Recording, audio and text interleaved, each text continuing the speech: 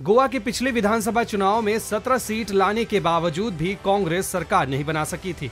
ऐसे में पार्टी ने इस बार अपने सभी कैंडिडेट्स को नतीजे आने के पहले ही होटलों में शिफ्ट कर दिया है।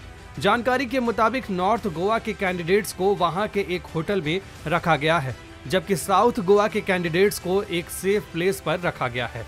हालाँकि कांग्रेस के सीनियर लीडर पी चिदम्बरम ने इस बात का खंडन किया है भास्कर से एक्सक्लूसिव बातचीत में चिदम्बरम ने कहा कि हमारे एक लीडर का आज बर्थडे है, जिसे सेलिब्रेट करने के लिए सब होटल गए हैं मैं भी सेलिब्रेशन में शामिल होने जा रहा हूँ।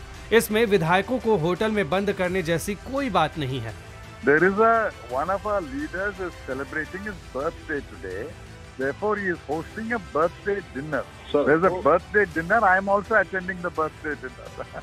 सूत्रों की माने तो पी चिदम्बरम ए गोवा प्रभारी दिनेश गुंडू राव विपक्ष के नेता दिगंबर कामत और राज्य कांग्रेस अध्यक्ष गिरीश चोडंकर पंजी में विधायकों के साथ डटे हुए हैं इस बार कांग्रेस किसी भी स्तर पर कोताही नहीं बरतना चाहती पाँच मार्च को इन नेताओं ने राहुल गांधी से मुलाकात करने के बाद आगे की रणनीति बनाई थी वहीं गोवा के सीएम प्रमोद सावंत सोमवार से ही दिल्ली में है। सूत्रों के मुताबिक सरकार बनाने को लेकर उनकी टॉप लीडरशिप से चर्चा हुई है। बुधवार को सावंत और देवेंद्र फडणवीस गोवा पहुँच सकते हैं।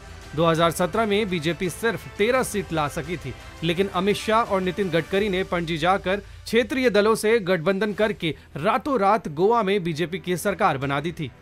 शेयर और डाउनलोड करें दैनिक भास्कर ऐप।